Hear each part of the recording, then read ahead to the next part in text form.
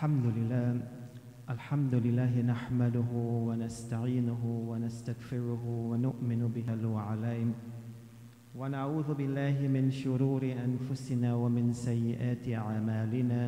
من يهدي الله فلا مضل له ومن يضلل فلا هادي له. وأشهد أن لا إله إلا الله وحده لا شريك له. وأشهد أن سيدنا محمدا عبده ورسوله. أما بعد يقول الله تعالى في القرآن العظيم أعوذ بالله من الشيطان الرجيم. بسم الله الرحمن الرحيم. المال والبنون زينة الحياة الدنيا والباقيات الصالحات خير عند ربك ثوابا وخير املا. Sadaqallahul Azim. All praises are for Allah subhanahu wa ta'ala. We glorify Allah and we give thanks to Him for His blessings, His favors, and His bounties upon us.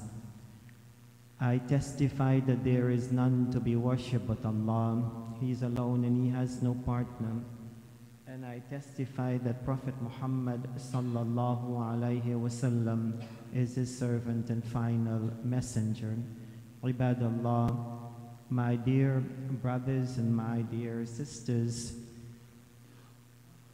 Allah subhanahu wa ta'ala reminds us in the Quran he says, Wealth and children are the adornment of the life of this world. But the righteous deeds that last are better in your Lord's sight for rewards and better in respect of hope. Allah subhanahu wa ta'ala, He is the one who has given us whatever we have in life. And Allah subhanahu wa ta'ala is reminding us that what we have, it is just a sort of adornment in this life what is lasting, what is important, it's our righteous deeds. Because that is what will bring us tremendous rewards with Allah subhanahu wa ta'ala. That is better in, in respect of hope, that you have hope of meeting Allah subhanahu wa ta'ala.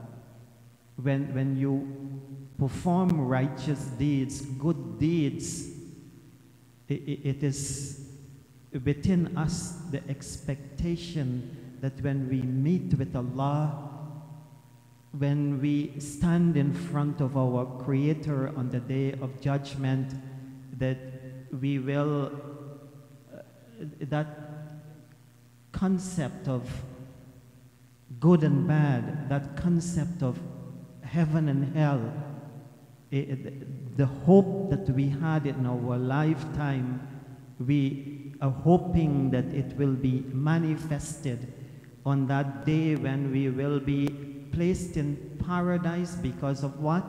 Not the wealth, not the children, that were things that uh, they were adornment of this world, adornment in this life, but what will matter?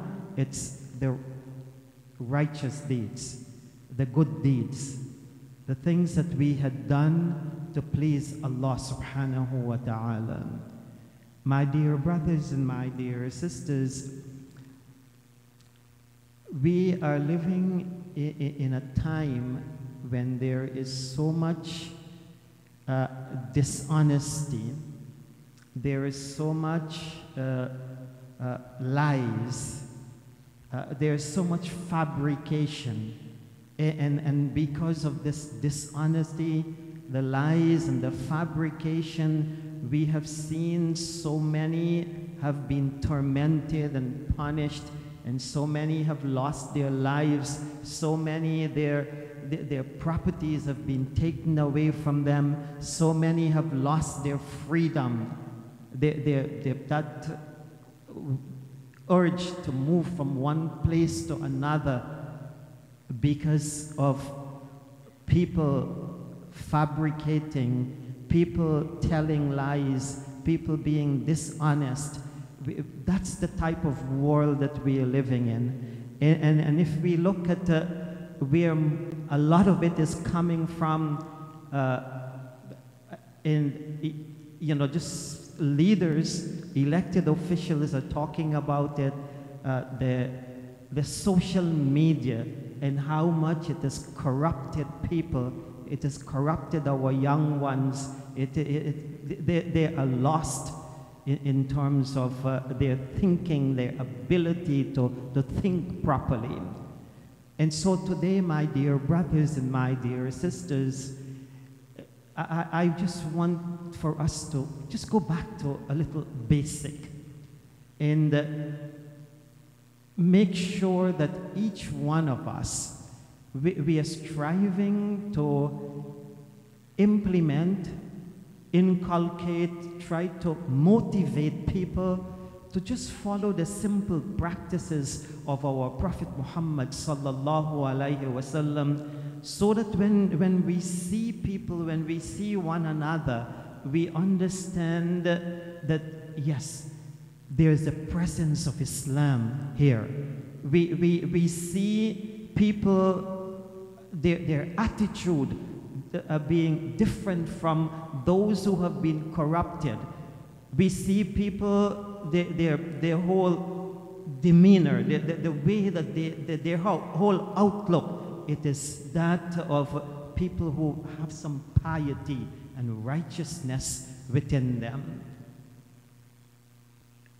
Allah subhanahu wa ta'ala, He tells us in the Quran, وما آتاكم الرسول فخذوه وما نهاكم عنه فانتهوا Whatever the Prophet sallallahu alaihi wasallam has given you as laws from Allah subhanahu wa ta'ala, follow it.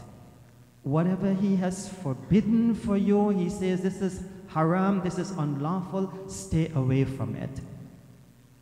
And that's how we, we need to look at this life of, of, uh, of ours. You know, Allah tells us in the Quran, say, In kuntum tuhibbun Allah, fattabi'uni. Yuhbibkum Allah wa yaghfir lakum. Allah says in the Quran, say, In kuntum tuhibbun Allah. If you love Allah, then follow me, follow Muhammad sallallahu alayhi wasallam. The very simple things that he did in his life that made a, a difference. Follow the Prophet sallallahu alaihi wasallam. In kuntum tuhibbun Allah fattabi'uni. Yuhbibkum Allah. Allah will love you. Allah will forgive you your sins. We all make mistakes. And we all want that hub, that, that love of Allah subhanahu wa ta'ala. Today, my dear brothers and my dear sisters, we, we see Muslims who sometimes you, you have to wonder if there is there are Muslims the way that people behave. We, we see young children, eh, they don't have that respect. There is no, eh, you know, compassion. Uh, it's all about uh, vulgarity, you know, the, the, the, the speech. It's, it's not you know, that beautiful speech that comes, that, you know, speaking to people in a beautiful way, you attract them and you bring them towards you. All, all that we, we see around us, sometimes there is not even the greeting of salam say salam to one another. This is what Prophet Muhammad sallallahu alaihi wasallam he taught us. Very simple things so that the presence of Islam will be within us. We, we, we are being told to remember Allah subhanahu wa ta'ala all the time. Look at Rasulullah sallallahu alayhi wasallam, the, the remembrance of Allah subhanahu wa ta'ala. He sits with the, the, the son of Umm Salama and he says to him, Ya ghulam, sammillah wa kul bi yaminik wa kul mimma yali. O young one, begin with the name of Allah, eating. Begin with the name of Allah. Eat with your right hand and eat from that which is nearest to you. The, the, the presence of Islam. Every time you do something, you remember Allah subhanahu wa ta'ala. Look, look around and, and you would see in the, in the Muslim community that sometimes these very basics, they are, are, gone, they're, they're missing. That you talk to someone and, and you don't feel as if that person is expressing anything that is about his or her deen. The, the, the language, it's like a foreign language. You, you don't have that connection with the person as if that person is really one that shares the same faith like you. And the Prophet sallallahu alaihi wasallam he went with very simple things. How, often do you call a home and you hear on the other side Assalamu alaikum.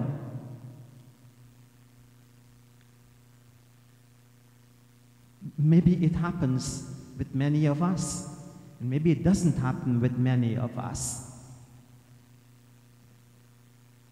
That's what we are being taught. When you see one another, you meet each other, you greet each other with salam.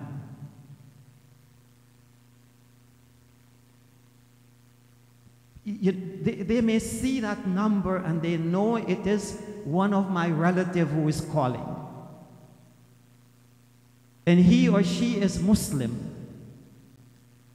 But the other person, the person on the other side says hello and doesn't even say salam.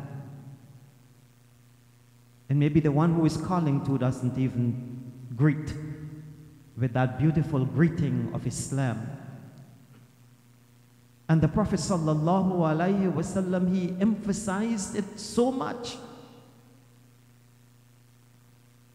And, and if we were to take the literal meaning of it, salam, when he said, لا تدخلوا الجنة حتى تؤمنوا ولا تؤمنوا حتى تحابوا أولا أدلكم على شيء إذا فعلتموه تحاببتم أفشوا السلام بينكم you, you know, it can have a, a very deeper meaning. But if we take it literally, the Prophet sallallahu alaihi wasallam he is saying that you will not enter paradise until and unless you believe, and you will not believe until you love one another.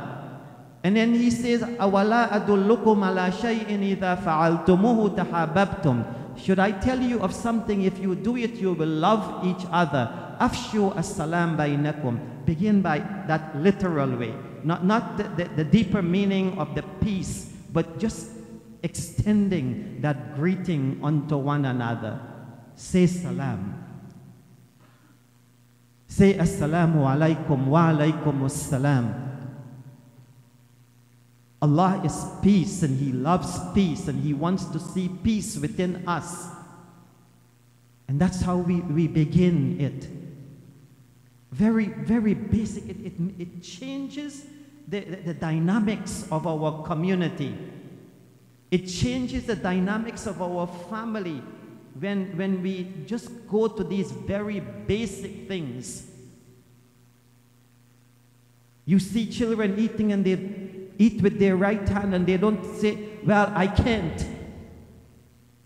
Because they want to follow the Prophet sallallahu alaihi wasallam and they say Bismillah.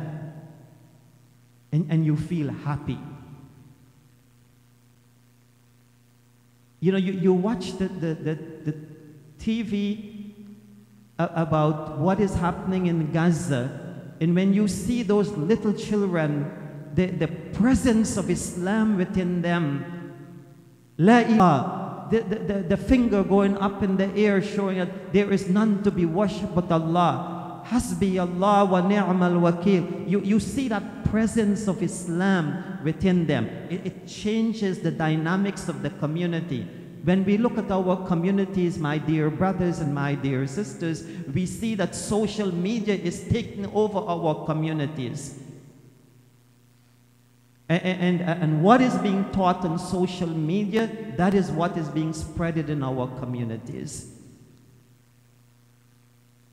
And so we have that responsibility to make sure that uh, the remembrance of Allah subhanahu wa ta'ala is ever present within us because that is what makes us that beautiful Muslim community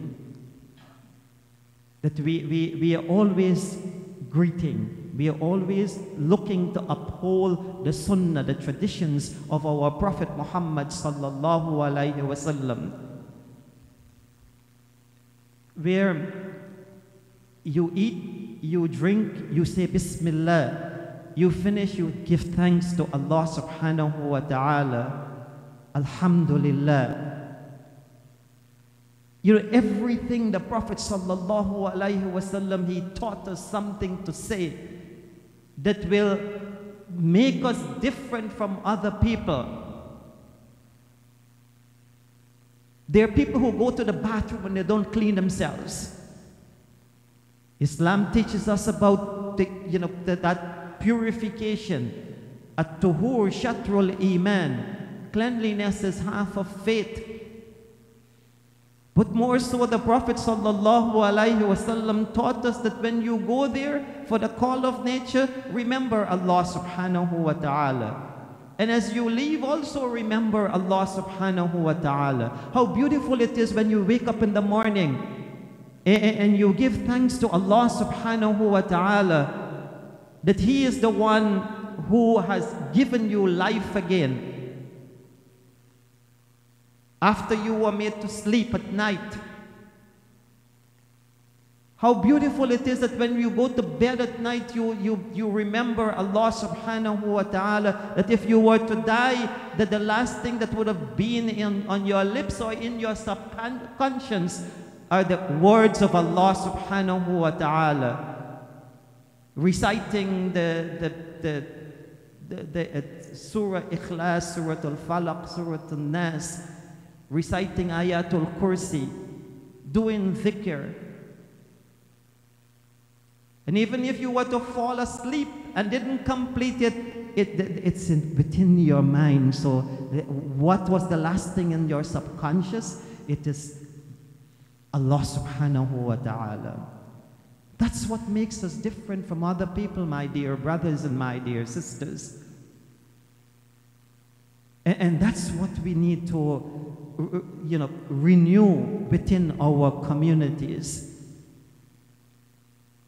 Because the, the influences of uh, social media, it is overtaking our communities where only trash sometimes we hear from uh, around us. The Prophet sallallahu alaihi wasallam, he, he, he taught us to have that connection with the book of Allah subhanahu wa ta'ala. And yes, on social media, you can have that connection with the book of Allah subhanahu wa ta'ala because there are so many reciters on social media, they bring you closer to Allah subhanahu wa ta'ala. We, we see people use it for the right purposes and some people use it for, you know, purposes that are not correct. You, you have great scholars on social media. They talk day after day and they try to motivate you and bring you closer to Allah subhanahu wa ta'ala. But how many listen to them? How many have that connection with them? We use it for different things.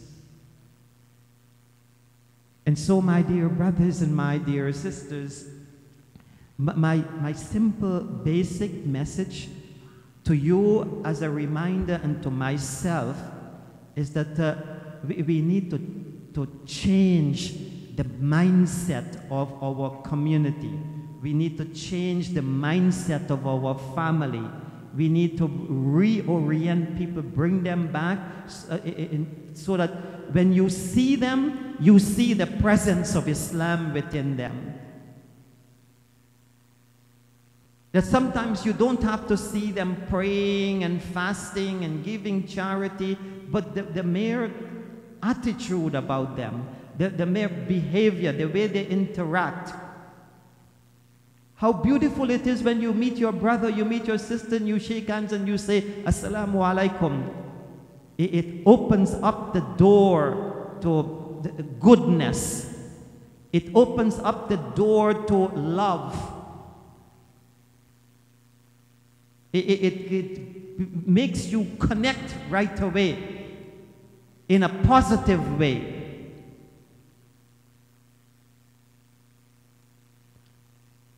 How beautiful it is when you, when you sit together and, and, and you, you hear the, the, words of Allah subhanahu wa ta'ala that people, they, they, they, they, they're not only eating or, or sitting and having conversation, but the conversation is such that Allah subhanahu wa ta'ala is always being remembered.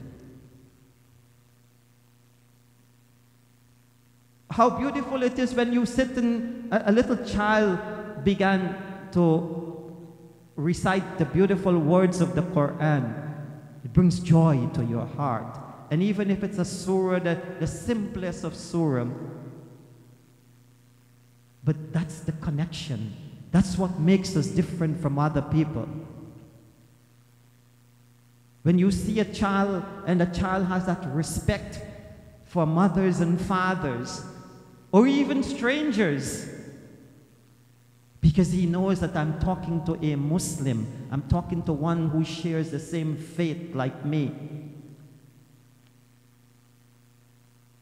That's how we need our communities to be, my dear brothers and my dear sisters.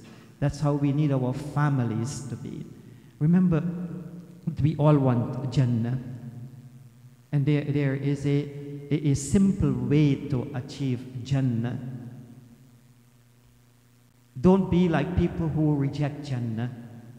Prophet Muhammad sallallahu alayhi wasallam, he said, "Kullukum yadkhulul jannah illa man aba." Every one of you will enter paradise except the one who, except the one who rejects paradise. And the companions they said, "Ya Rasulullah, wa may yaba?" And who will reject paradise? And the Prophet sallallahu alaihi wasallam he said, "Man ata'ani dakhala al-jannah, wa man asani The one who obeys me you follow the Prophet sallallahu alaihi wasallam. Live life like him. The simple things that he did, practice it. That's obedience.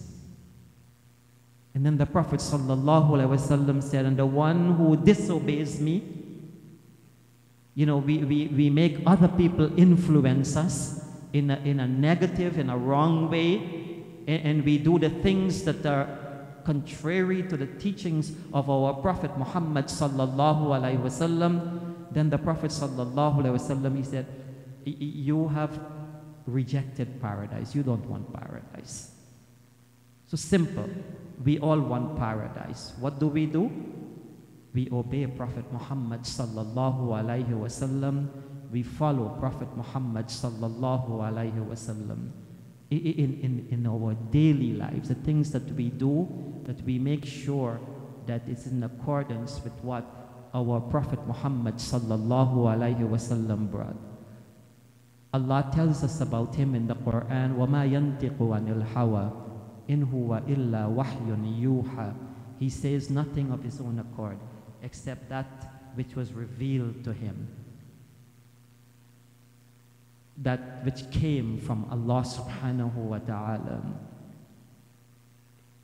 And so, these very simple things in our lives, my dear brothers and my dear sisters, it makes us different human beings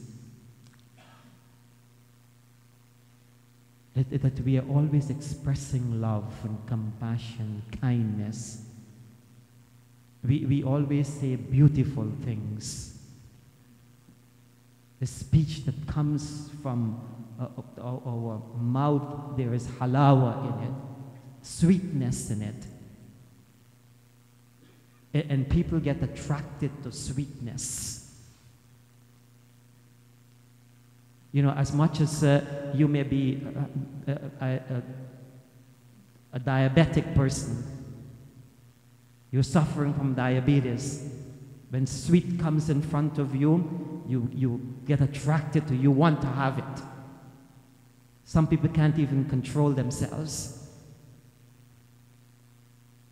E- even though they might be at that stage, anything would be, uh, you know, uh, catastrophic to them.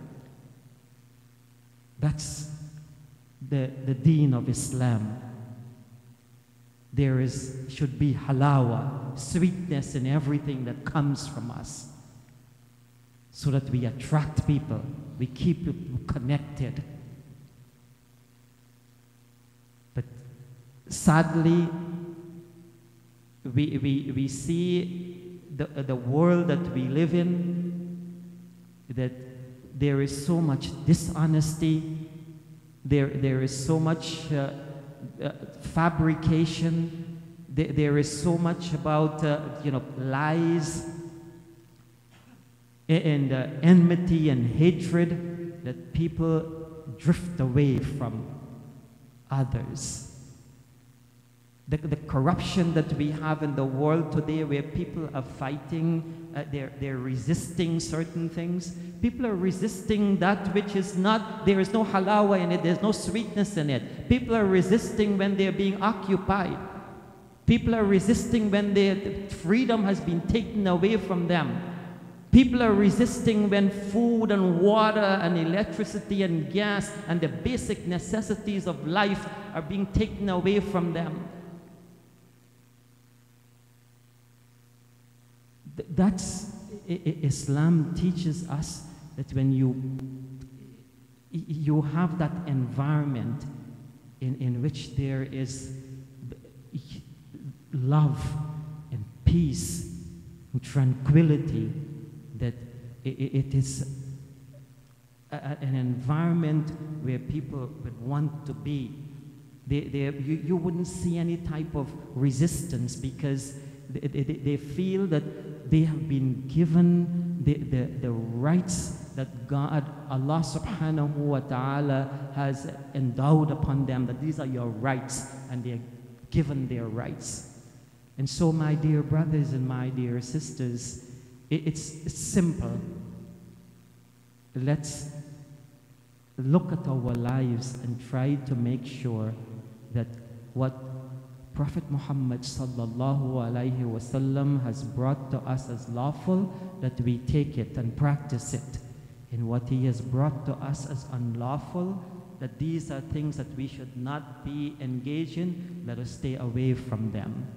And let's start with the very basic it may seem as if uh, it's not important, but the very little things that He has taught us with regards to our personal selves, hygiene, you know, certain things that we do every week, clip our nails, for example, the way we eat, the way we drink, the way we sleep, how do we go to bed? How we wake up? The way we interact with each other. Uh, you know, the clothing that we wear, the modesty within it, all may seem very simplistic, but at the same time, it, it, it shows that you belong to a community.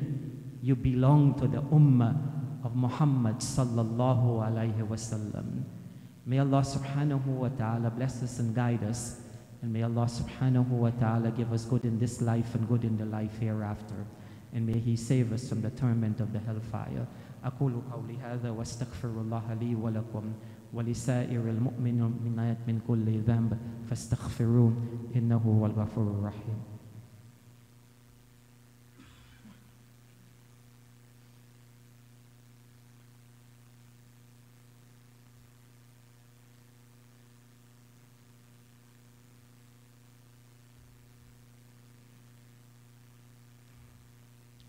الحمد لله. الحمد لله رب العالمين والصلاة والسلام على سيدنا محمد وعلى آله وأصحابه أجمعين. رضوان الله عليهم إلى يوم الدين. أما بعد My dear brothers and my dear sisters, Allah subhanahu wa ta'ala, He says in Al-Quran, وَلْتَكُنْ مِنْكُمْ أُمَّةٌ يَدْعُونَ إِلَى الْخَيْرِ. ويأمرون بالمعروف وينهون عن المنكر وأولئك هم المفلحون Allah subhanahu wa ta'ala says, Let there arise out of you a, a group of people who will invite towards goodness. The very basic things that I talked about, they're all about goodness.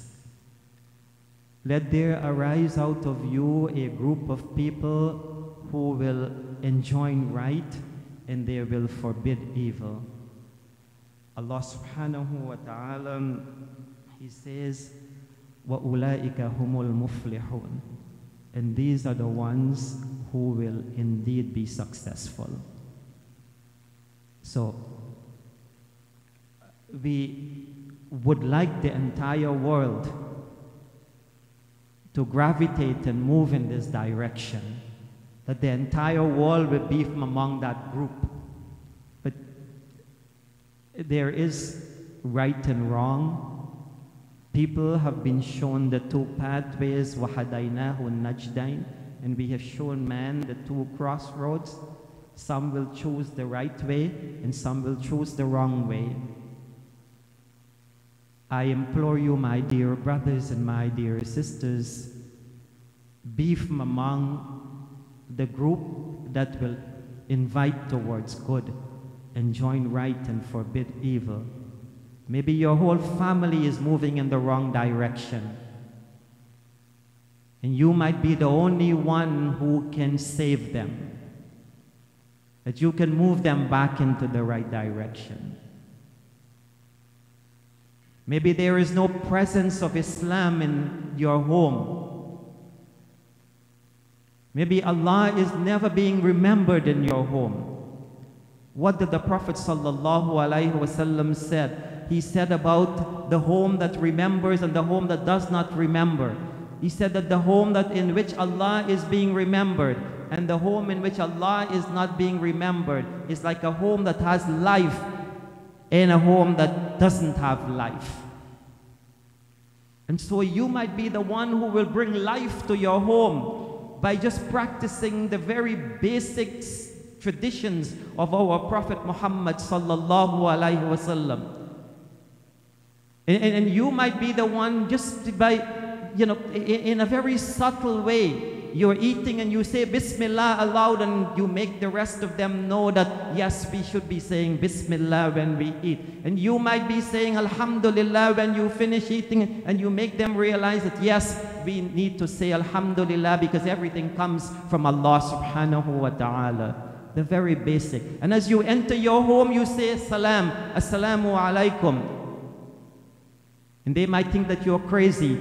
There's no one there, why you saying salam? But we follow the traditions of our Prophet Muhammad sallallahu alaihi wasallam, where he tells us to say salam as we enter, so that shaitan would not follow us.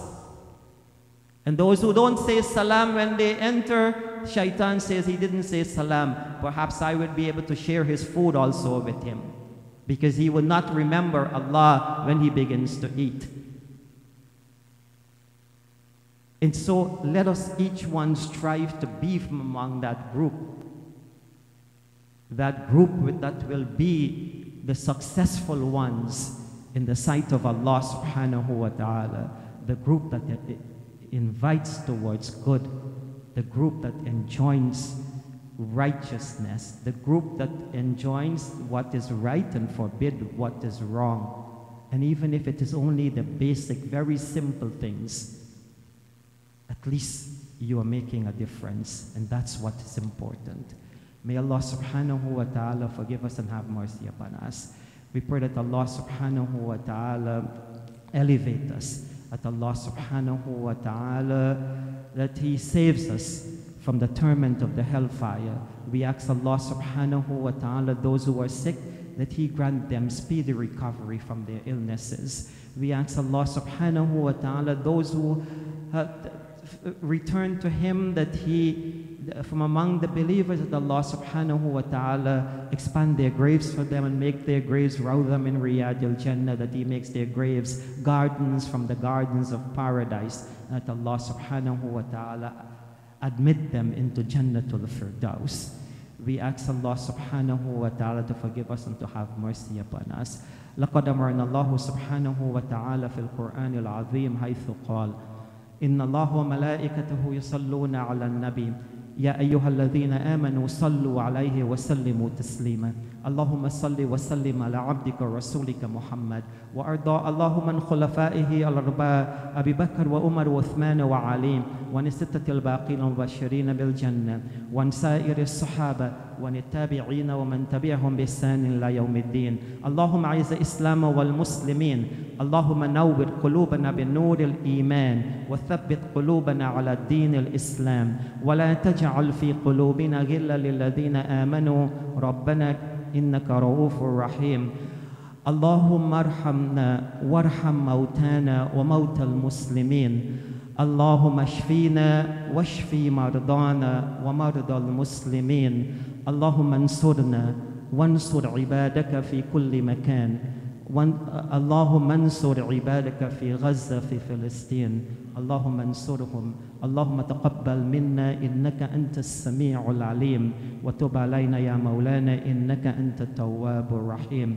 عباد الله إن الله يأمر بالعدل والإحسان وإيتاء ذي القربى وينهى عن الفحشاء والمنكر والبغي لكم لعلكم تذكرون. فاذكروا الله على نعمه واشكروه على آلائه ولذكر الله أكبر والله يعلم ما تصنعون. أقم الصلاة.